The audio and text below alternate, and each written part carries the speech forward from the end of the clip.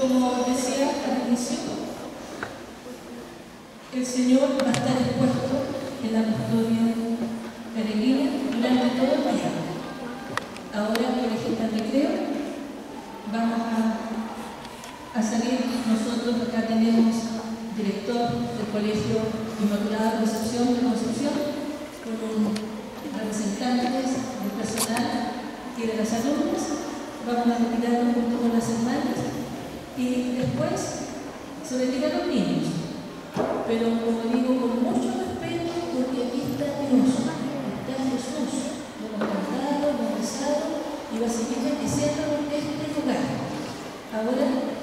sentadito vamos a pedir la bendición del Señor.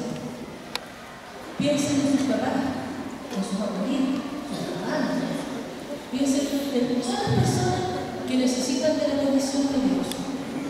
Y Dios lo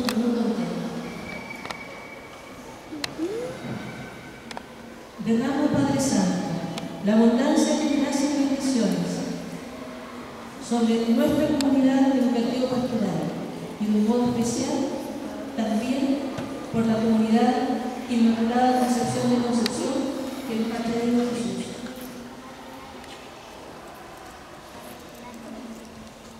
En el nombre del Padre, y del Hijo, y del Espíritu Santo.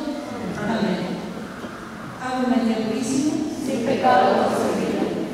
Entonces, nosotros nos vamos cantando, bendito y alabado sea el Santísimo